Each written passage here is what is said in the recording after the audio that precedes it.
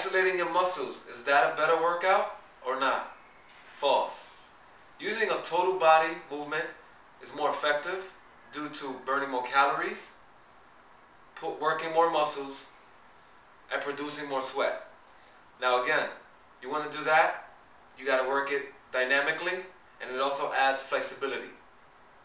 So, full body for lean muscle is the way to go.